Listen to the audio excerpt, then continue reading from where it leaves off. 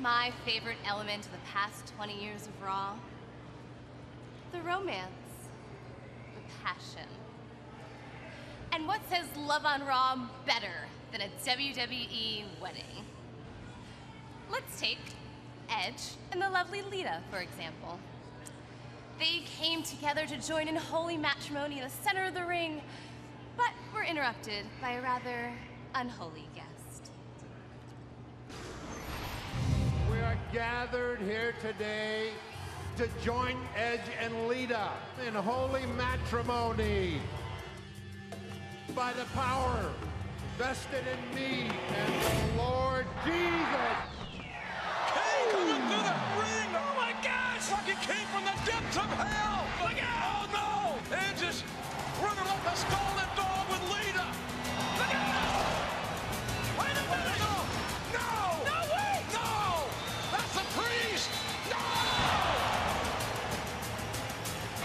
gates of hell have been opened!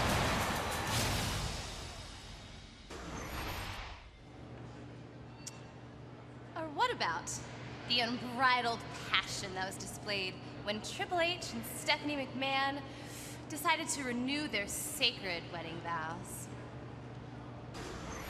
Tonight, our hearts are filled with great happiness as Hunter and Stephanie come before you, pledging their hearts and lives to one another. I love you.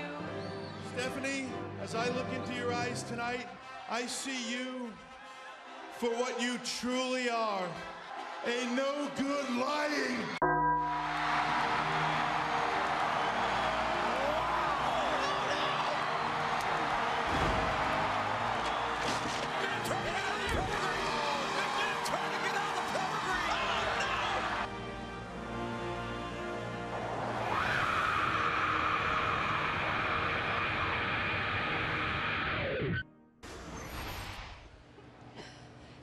And what about AJ, AJ, all of those were great. They were. But this wedding moment almost made me shed a tear. A new chapter is going to begin for both of us. Do you, AJ? Yes! Yes! I wasn't saying yes to Daniel. I was saying yes to someone else.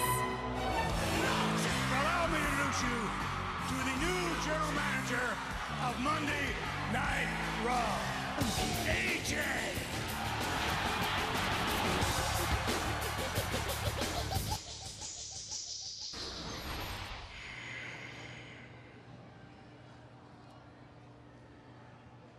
That was the best moment of my life. That was the best thing that ever happened to me in my whole life. And it got taken away. I lost it. I lost everything because of one man. Because of John Cena.